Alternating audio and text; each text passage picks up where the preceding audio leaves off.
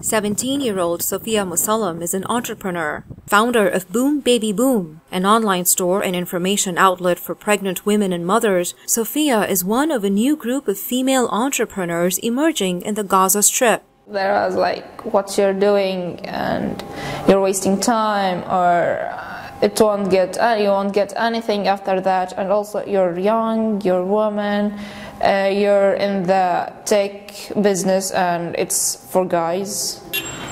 In a population of 1.8 million, about 20% of working age women are in the labor force, according to the Palestinian Central Bureau of Statistics.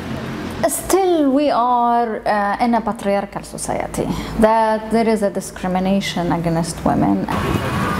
In recent years, the democratically elected ruling party Hamas has mandated gender segregation in schools, forced a dress code on female university students, and banned women from running in the Gaza Marathon.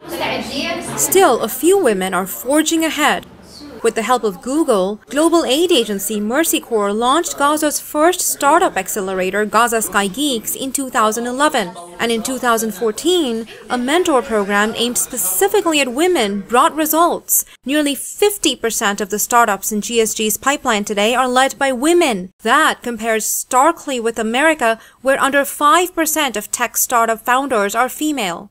Gaza faced uh, more than three wars in less than six years all these uh, circumstances uh, affected the life of women. Each time during the conflict and for months after, women, especially mothers to young children, had to fend for water, food, basic survival necessities. Even today, homes lie in rubble and power outages are frequent. 24-year-old Hadil El Safadi, who has launched her own animation studio called Newtoon, says she was only able to do this because of the facilities offered at Gaza Sky Geeks, like electricity, a computer, the internet.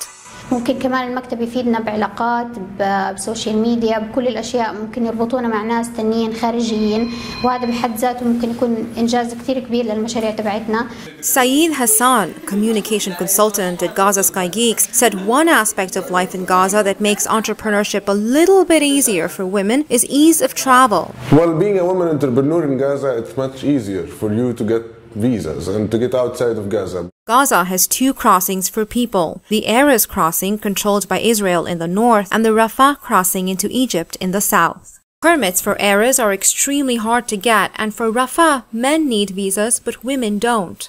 Newtoon is building clients in Egypt, Jordan, and Saudi Arabia, with plans to expand into other markets in the Middle East. طول ما الشخص عنده حلم وإيمان بالفكرة اللي هو حابب يقدمها ويوصلها ببطل في عوائق وبيحاول دائما يكسر هاي العقبات علشان يوصل للأحلام تبعته والطموحات بغض النظر كلام الناس 24-year-old Tamar Jama is launching a recipe sharing app called Zaki. She and her husband were interviewing with Silicon Valley accelerator Blackbox in the summer of 2014 as bombs were falling outside their window. Today, Zaki's Facebook group has over 60,000 members. Meanwhile, Sophia plans to launch Boom Baby Boom just after she's done with high school. Her dreams, like those of other female entrepreneurs in Gaza, are not only for herself.